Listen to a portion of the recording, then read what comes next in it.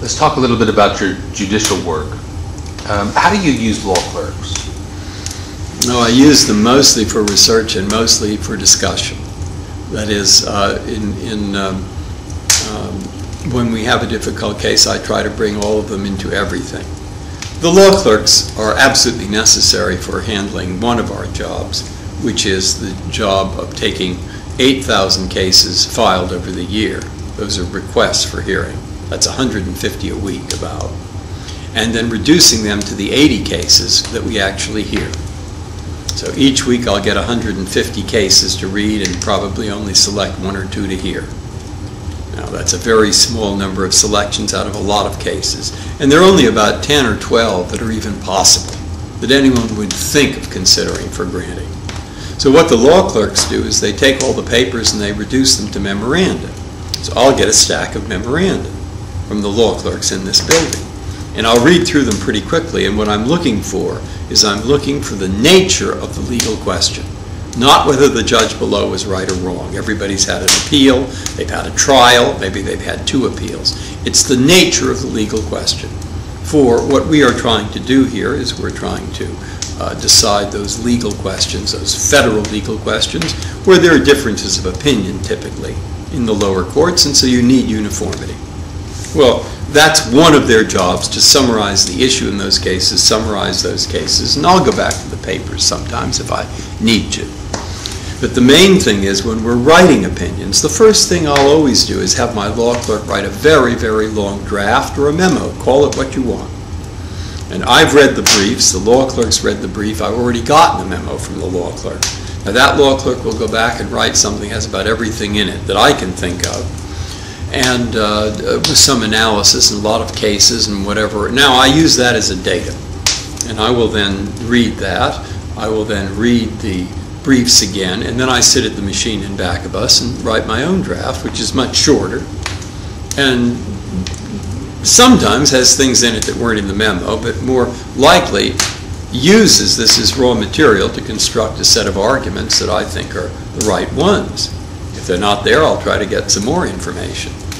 Um, then I write my draft, give it back to the clerk, and the clerk will critique it and uh, edit.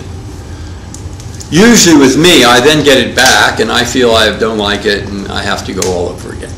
So I'll normally write two drafts from scratch. Whether it's one or two, it is normally true, two. I'll then use the clerk to uh, edit, critique, and, and discuss. I like to discuss difficult things with all my clerks together. And uh, it, it works very well. I mean, we'll go back and forth like uh, eventually uh, editing something that we started with into shape where I think I can circulate it. Back in 1964-65, you clerked for Justice Arthur Goldberg. How much has clerking changed uh, from how it was in those days? I think not too much, that we had two clerks instead of four. And I think the reason we have more clerks now is because of the tremendous growth in the number of requests for hearings. They've grown maybe from 2,500 to 8,000. And so there's a need for more of the summarizing uh, to be done. Uh, but otherwise, the job is pretty similar uh, with Arthur Goldberg, whom I love, who's a wonderful man, great judge, and uh, we would discuss everything, and he liked to talk about things, and it was fun and interesting, and we did a lot of research. Did that experience um, give you a greater sense of the history of your current job and, and uh, did Yeah, it help you in some way? I think, well, as a person, I think he was a very practical person. He wanted to achieve concrete objectives, and he would be impatient uh, with some kind of discussion in an opinion that seemed too theoretical that wasn't getting anywhere. He, he wanted uh, things to make a difference, to be clear, be practical. I think as a court, the court at that time had an overwhelming problem, and the overwhelming problem was uh, racial segregation. So the Warren Court was trying to deal uh, with a set of legal issues uh, that came down to whether legal segregation would be permitted in the United States or not. Brown versus Board had said no, but to make it no, You had to dismantle an entire set of legal rules that had underlay a set of practices that meant racial segregation. Uh, So they were very, very busy uh, at that task, and it was a court, in a sense, with a mission. The mission was a constitutional mission, to see that people were not discriminated against on the basis of race. Um, Today, I think that you can't, it's harder to find a a single overarching constitutional mission. On a personal level, what did you learn from Justice Goldberg? On a personal level, I learned he was a marvelous person, and I learned that well, actions have consequences. I would say that's the most important thing, what you're going to decide in an opinion is not a theoretical game. Uh, What you're going to decide is going to matter in the world, and, and therefore, it's important to pay attention to those consequences, because human beings will be affected. Is it true that shortly before you became a federal judge, Justice Goldberg, I think then retired, um, implored you never to use a footnote?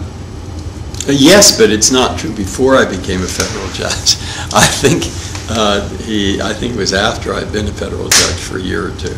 And he said, there's no point using a footnote. If, if, if you want to put something in a footnote, make a decision. Is it relevant and important or not? If it's important to your argument, put it in the text. And if it's not important, throw it out. You're not there to prove to everybody how clever you are. You're not writing an opinion to show you're well-read. You're writing an opinion as a useful document to lawyers and judges. So the citation either plays a role or it doesn't. Is it true that you've never used a footnote as a Supreme Court Since, justice? as a Supreme Court justice, I think it's true. I mean, it's possible sometimes that you have to write a footnote to say something about another judge in our court, a justice who's joining an opinion in Part A but not Part B or something, uh, but I can't think of an instance in which I've used a footnote. Among scholars, your writing style is known especially for its clarity. How hard is it to achieve clarity when you're writing about legal subjects? I think it's not easy. Uh, Because the trouble is often you know too much about it by the time you've gotten into the subject. And so you assume a lot of knowledge on the part of the reader, and the reader may, might not have that knowledge. And if you make an effort and think you're explaining it to your, your spouse, your wife, your husband, your daughter, your son, uh, you're explaining it to someone, go through the explanation so they can understand it. And then the reader will understand it. But it, it does require, that's why I think for me, it requires a lot of drafts. Now, there's some writers that don't need a lot. P.G. Wodehouse had an exhibit at the Morgan Library, and the extraordinary thing, since he was a great writer, is to look at his drafts, they came out of the typewriter to the publisher without a change. I can't do that. And you probably can't think of many other writers who can No. do that. No. I can think of some great writers who couldn't. I've seen the manuscripts that Proust wrote, and they're filled with changes. So, uh, but it's nice to be able to do it if you could, but I can't. Do you think it matters whether ordinary people can understand judicial opinions? Yes. Why? Well, particularly in this court, because uh, if an ordinary uh, uh, person who's not a lawyer can understand it, I think that gives weight to what the court does, and law is supposed to be intelligible. They should be able to follow it with the lawyer or the judge, should be able to, uh, without uh, having to take special vocabulary courses. And the purpose of an opinion is to give your reasons. And you give your reasons both for guidance, but also it should be possible for readers to criticize the writer. Now, people can't criticize what I say. They can't explain why they think it's wrong unless they can understand. Brandeis said that once. He said, first we have to understand what an opinion means before we can say whether it was right or wrong. Do you have an opinion on legalese? I'm against it. Legalese, you mean jargon, legal jargon, terrible. Terrible. I, I, I would try to avoid it as much as possible. Uh, no point. Adds nothing. I, I just find very little, I'm, I'm sure there are some instances where there is a necessity for it, but I have not found one, or I can't find many. What does it say to you about a lawyer who uses a lot of that jargon? Well, I'd say it would be helpful to me if he didn't. And uh, if he's trying to disguise the fact that he has no argument, he's not going to get away with that. You were a professor at Harvard Law School uh, from 1967 to 1981, and the faculty had some really great legal writers at the time. Which ones did you admire for their writing style? I thought my colleague John Ely had a very good writing style, wrote very clearly. A lot of them wrote very clearly. Course I liked was the Hart and Sacks course on uh, jurisprudence. It was the legal process, and Al Sacks was very clear in his writing there. Uh, uh, he, he, and Paul Freund was always very clear when he wrote. Uh, the- there were, there were mo- most were clear. I think I don't think there was a clarity problem. And Lon Fuller was a Yes, Lon Fuller too, a philosopher, and always clear. Mhm. Seems to me you can do that. There's a great saying I like, I think it's Ortega y Gasset, which said something to the effect of, of clarity is the courtesy or politeness of the author. Have any writers outside law been major influences on you as a writer? Say, Outside law. Well, if I read novels, I, uh, you know, I can, I know, I know what I like. Say if you, if you, a certain kind of clarity I do admire. Say what Stendhal writes very, very clearly. I said, that's, that's marvelous. That's good. I can't do that. But uh, I would prefer, a, I, I, I I would certainly prefer a great book that is clear. Um,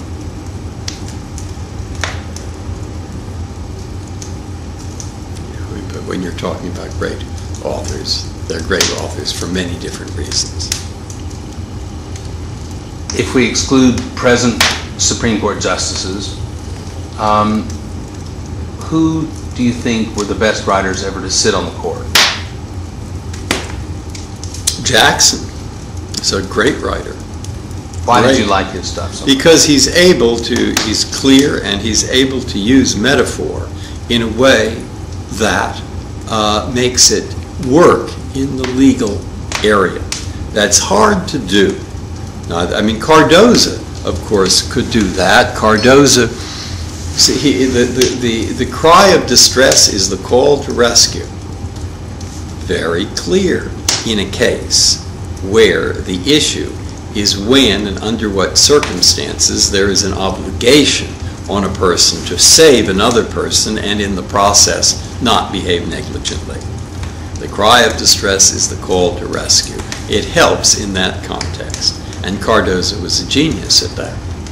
I rather like a, uh, Jackson had a case where he wrote once something to do with natural gas pricing regulation, a subject that used to be dear to my heart because I had taught administrative law. But uh, he, he uh, uh, said neither the, so- neither the, the wit of man, neither the wealth of Midas nor the wit of Solomon or something would ever be able to understand or to do enough to make clear uh, the principles of natural gas pricing regulation. That just juxtaposition was funny, uh, quite true, uh, uh, and uh, made it a, a dry subject interesting, and also was illuminating. In, Korematsu, he complained about the court's opinion, which I think he was quite right. The court's opinion upheld the detention of the Japanese. Most of us would say it was very wrong. And he said, well, whatever they thought, they shouldn't have written an opinion that would, well, uh, but would create a precedent, he said, like a loaded gun pointed at the head of an innocent person. Quite right. Uh, uh, so he was dramatic, but very, very good. Holmes is a great writer, but Holmes is so metaphorical and succinct that sometimes it isn't clear what he's driving at. Almost laconic. Yes, yes, yes, and uh, but, that- but he's certainly a great writer. Brandeis, Brandeis from time to time is Brandeis, who I rather admire enormously. Brandeis is so interested, however, in the depth of the opinion. He wants to get into the details, and of course, I think you should do that. I think it's helpful for a judge to do that. But most of the judges whom I admire write well. Learned Hand certainly writes well. All the great judges. Very hard to find a great judge, one who is now admired, who didn't write well. In fact, isn't it almost that they wrote so well that makes them so admired. Isn't the writing the most important thing a a judge does? Well, there is a theory to that, uh, but I'm not sure I accept it. I d- I don't think someone who isn't a good judge could become a good judge simply by writing. Yes. I mean, ultimately, the question is what of interpreting the law, the question is applying the law. The people who are affected are the people in front of you or others who will have to live under the law. And I think if you don't have a sound view as to how these cases should come out and how the law should fit together, I doubt that you could make up for it by good writing. I mean, if you're very clear, you might just be very clearly wrong.